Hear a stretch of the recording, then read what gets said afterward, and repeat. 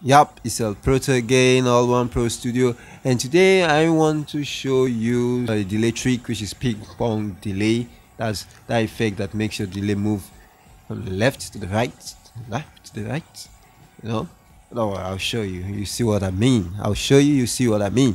So I just added uh, something here.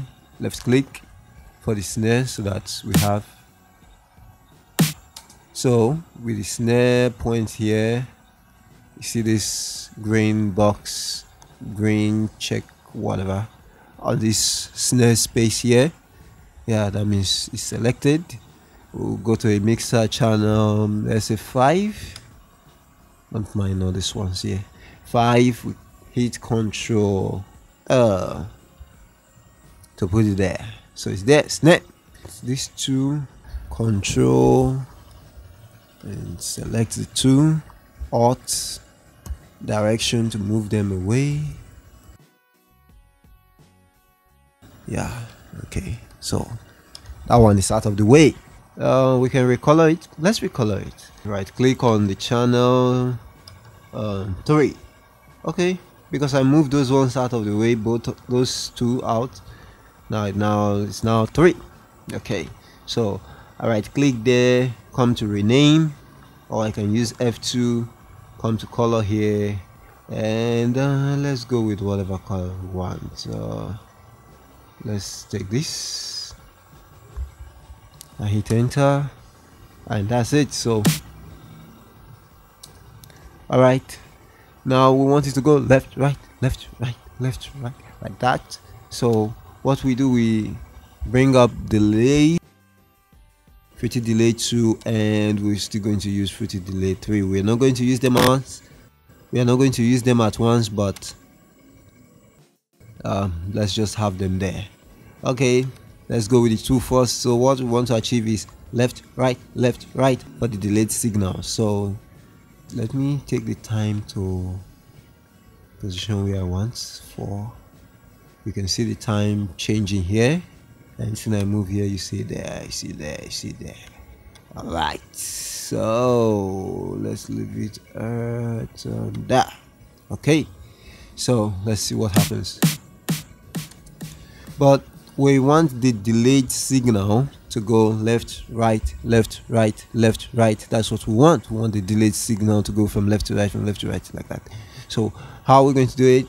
Now you see this point p pong is the ping pong mode. So that's what we want to achieve the ping pong delay. Now if i hit play nothing happens. So what should i do next? I come to the pan i move it to one side. Let's say i move it to the uh, left.